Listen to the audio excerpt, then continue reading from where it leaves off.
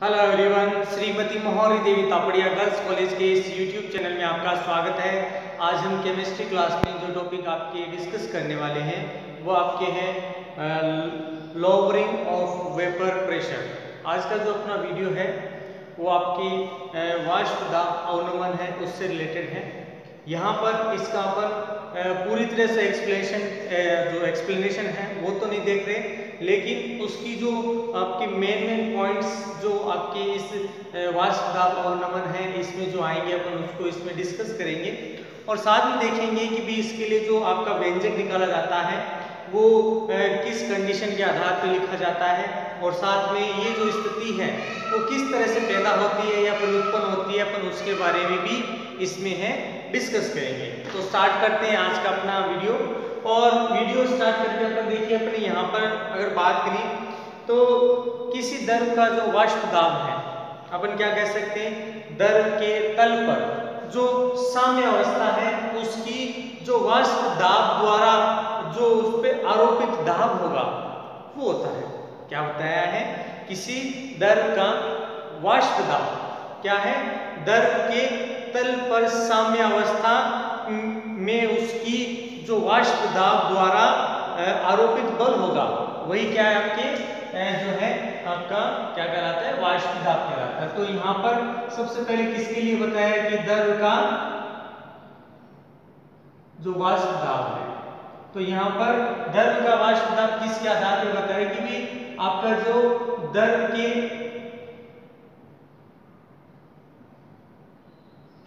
दर पर साम्य अवस्था में साम्य अवस्था में अपन कह दें उसके वाष्प दाब द्वारा क्या होता है भाई?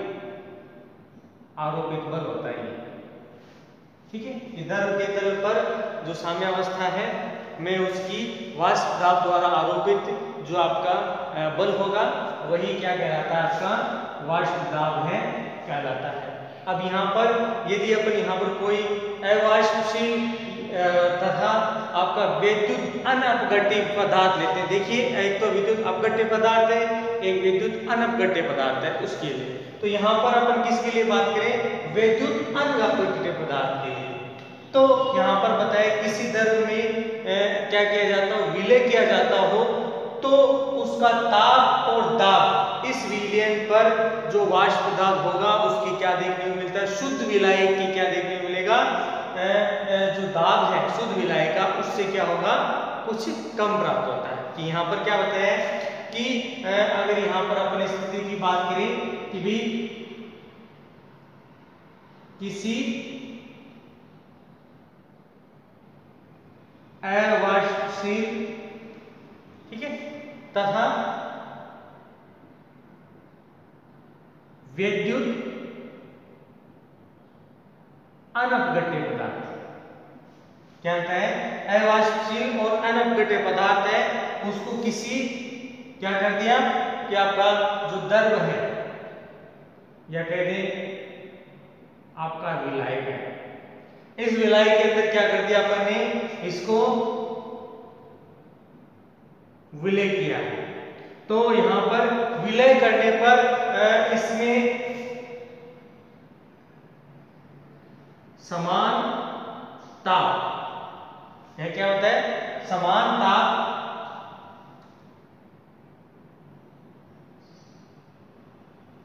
समान ताप और दाब पर।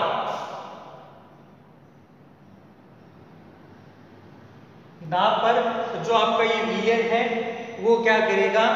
जो विलियन का है, वाष्प दाब क्या कहेंगे भी?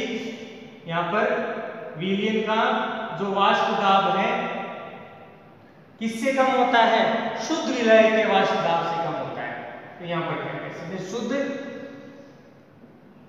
विलय के वाष्प दाब से आपका कम प्राप्त होता है। वाष्प दाब यहाँ पर इससे क्या देखने को मिलेगा?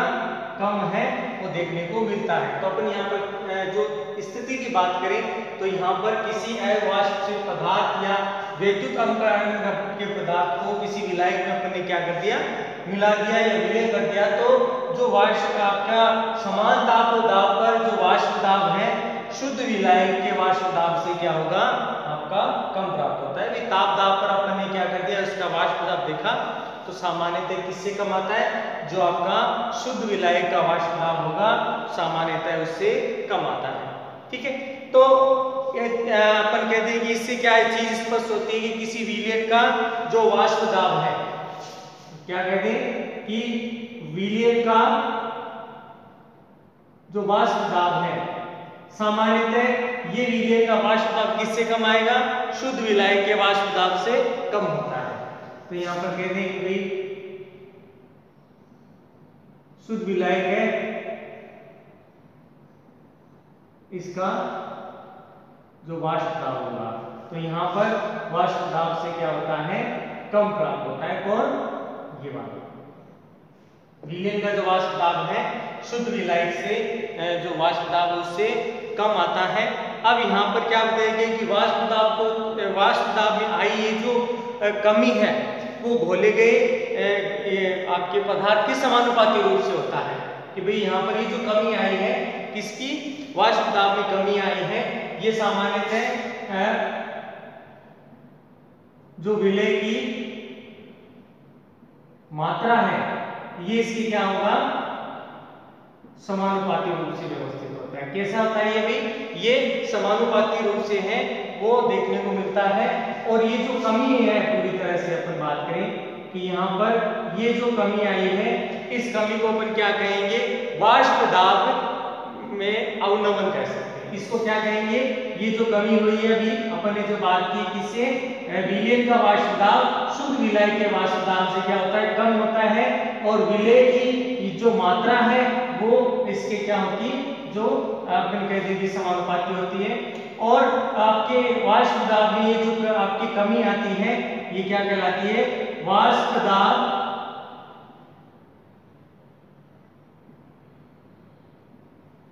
अमन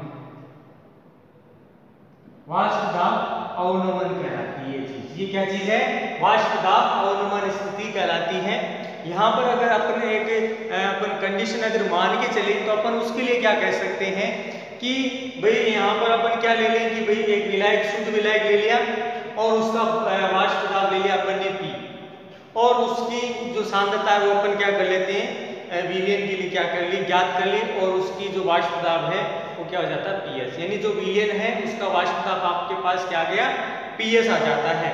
तो आपका जो वाष्प दाब है उसमें विलियन के अंदर जो अवनमन आएगा इसमें अब यही स्थिति समझिए विलय ले लिया और शुद्ध विलायक ले लिया। तो यहाँ पर अपन क्या करेंगे कि शुद्ध विलायक का वाष्प दाब ले लेंगे। दूसरा, उसमें जो सांद्रता परिवर्तन है, वो देख लेंगे। तो यहाँ पर इसमें जो अंतर आता है या फिर जो कमी आती है, अपन इसको ले लेते हैं। तो यहाँ पर सामान्यतः अपन ने दाब क्या बना पी और इसमें अंतर आ गया पी एस तो यहाँ पर अपन इसको P माइनस पी के रूप में लिख सकते हैं। मतलब यहाँ पर ये क्या कहलाता है? दाब अवनमन इसमें हो जाता है। अब यहाँ पर बात करें कि जी, ये स्थिति बताई। तो यहाँ पर अपने को ध्यान जो चीज़ बतानी है। मेन वो चीज़ क्या है? कि सामान्यतः जो आपकी वैज्ञानिक है,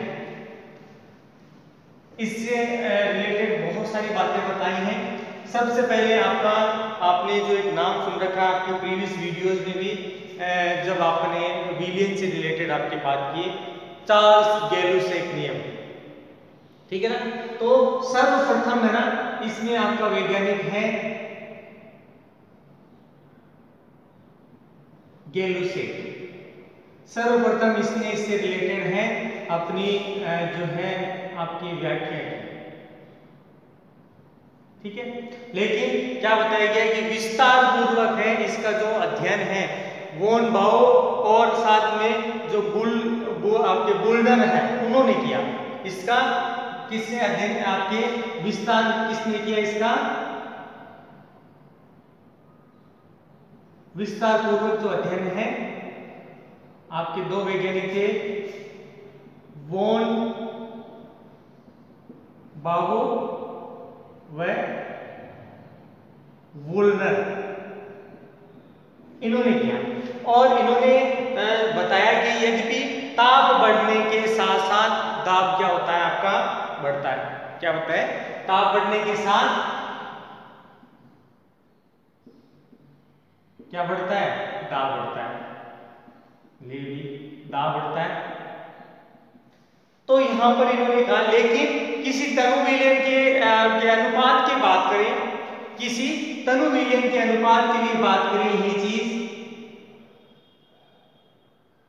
तनु विलयन के अनुपात के लिए अगर यहाँ पर अपन यही चीज़ बात करें तो ताप का कोई प्रभाव यहाँ पर नहीं पड़ता। किसके लिए बात करें? तनु विलयन के लिए बात करें तनु विलयन के अनुपात के लिए बात करें तो ताप में कोई परिवर्तन नहीं होता ताप का कोई परिवर्तन नहीं होगा।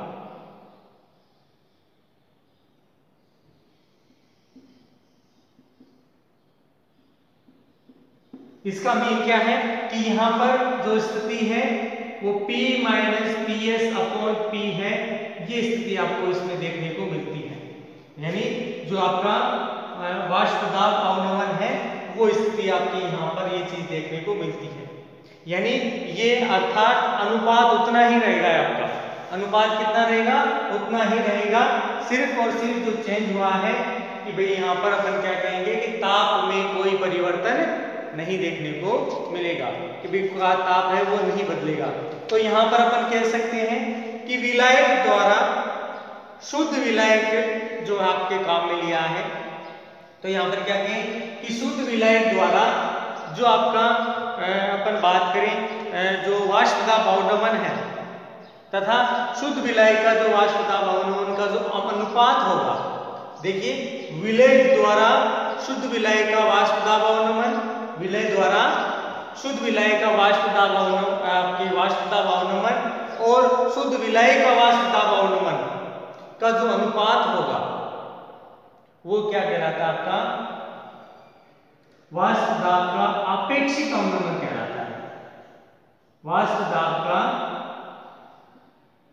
अपेक्षित, क्योंकि अनुपात लेंगे ना? अपेक्षित अवनमन कहलाता है। क्या कहलाता है आपका? वाष्प दाब का अपेक्षित अवनमन कहलाता है, और ये जो मान है, ये अपन ने इस रूप में व्यक्त करना है। P minus P S upon P ठीक है? ये अपन ने बात की, ये जो परिवर्तन हुआ है, जितनी कमी हुई है, जो आपका, ये आपका जो विलय है आपके हिस्से में जो आपका परिवर्तन हुआ है, ठीक है? उसमें जितनी कमी आई है, ये कमी है और ये आपका दाब है और यहाँ पर बनने वाला वाष्प दाब इसमें ही है। और और ज़्यादा इसका जो आगे का एक्सप्लेनेशन है सामान्यतः जो रावल का वाष्प आपका वाष्प दाब का अपेक्षित अवलंबन है और जो सांद्रता के लिए जो एक नियम दिया गया है, जिसको अपन राउल नियम कहते हैं, इसके द्वारा अपन इसको एक्सप्लेन करेंगे कि आपके राउल नियम के आधार पर आपका इसका बहुत ज़्यादा एक्सप्लेनेशन है, वो आपके इसमें सबसे ज़्यादा किया जाता है। तो यहाँ पर आपको जो चीज़ें ध्यान में रखनी है, पहले तो जो वाष्प दाब अवनमन है, वो क्या होता है? ठीक है? कि भाई आपका जो शुद्ध विलायक है, उसमें जो जितनी कमी आती है, वो उसका वाष्प दावावनमन है, अपन उसके रूप में लिखेंगे। और सामान्यतः यहाँ पर अगर एक्सप्लेन की जाए तो विलियन का वाष्प दाब शुद्ध विलय के वाष्प दाब की मात्रा से क्या होता है? कम होता है सामान्यतः। और सामान्यतः विलय की जो मात्रा है, वो विलियन का जो आपके ये जो कमी आई है, उसके क्या होगा? समानुपाती होगा। इसलिए विलय में हुई है जो मात्रा, विलय की मात्रा में जो कमी हुई है, ये कहलाती है वाष्प दाब अवनमन कहलाती है। और जब आपके शुद्ध विलय का वाष्प दाब और विलयन का या कहते हैं विलयन में जो विलय का, विलय के आपका जो वाष्प दाब होगा, उसमें जो अवनमन है वो उसका वाष्प दाब का अपेक्षिक अवनमन कहलाता है और उसको अपन इस एक छोटे से इक्वेशन के द्वारा अपन इसको लिखते हैं। तो ये था डियर स्टूडेंट आपके आपकी वाष्प दाब अवनमन या फिर कहते हैं lowering of vapour pressure I hope you आज का अपना वीडियो आपको पसंद आएगा। वीडियो को लाइक करें शेयर करें और इससे रिलेटेड नोट्स बनाते रहें इस वीडियो को देखने के लिए। धन्यवाद।